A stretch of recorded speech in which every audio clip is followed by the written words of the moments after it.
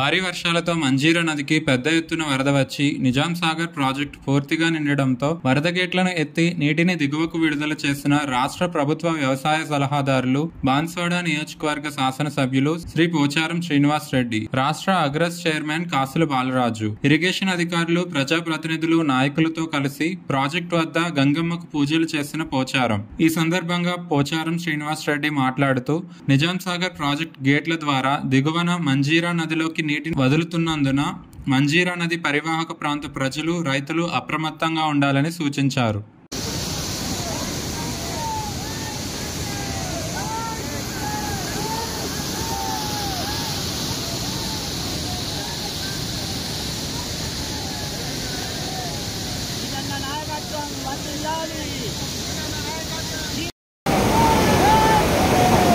Yeah.